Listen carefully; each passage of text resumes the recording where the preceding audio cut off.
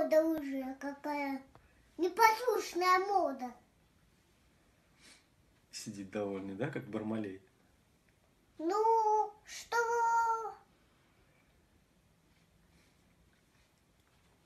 Ну, что? Что? Максим! Да не стыдно опять? Непослушный кот, да? Непослушная какой-то кот.